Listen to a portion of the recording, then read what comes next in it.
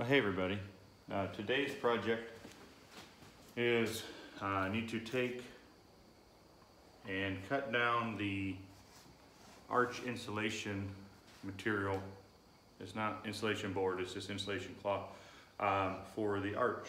So uh, when I ordered this from Bill Mason, he had an option on his website that you could get this insulating material um, enough to do uh, this is a two by four, and uh, he he sent it in cut roughly um, to the right sizes.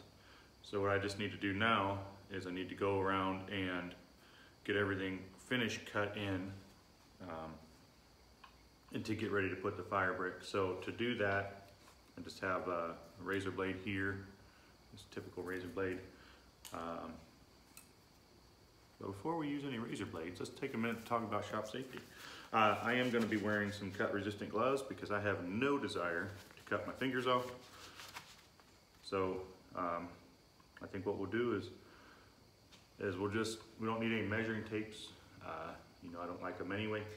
Um, we're just gonna go in and, and start trimming around, mostly around the 90 degree corners where the paper meets the paper.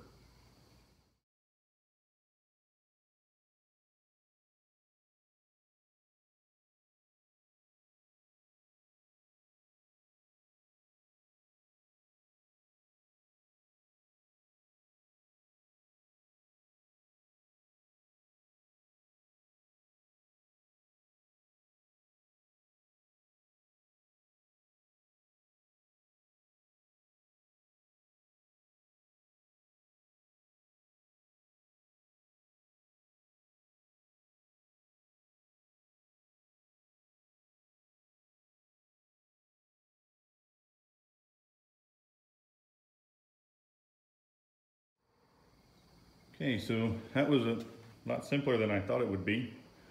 And um, so what I just did was I just went around and anywhere there was a corner where two sheets met, uh, I just trimmed it up, make sure they were flush. And the reason why is because the next thing I have to do is to lay the fire brick in.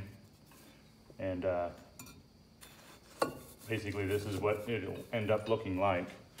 Um, once it's bricked. And of course, you'll, you'll want to cut the brick and everything. Um, the paper itself um, basically makes it so that the, the arch itself doesn't get too hot to be around while you're working on your maple syrup.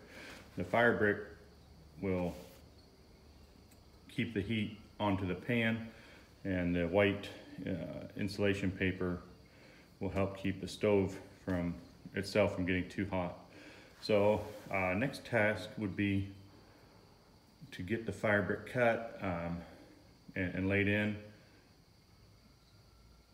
I did just leave the paper just sitting. The fire brick will get um, will get some mortar on it. Refractory cement is what they call it. But um, now I need to start laying out and overthinking, as is my style, uh, overthinking on about how I'm going to lay in the brick. Um, I'm going to start bricking around the grate part, and then uh, we'll move up to the walls, and then probably the last thing we'll do is the back portion.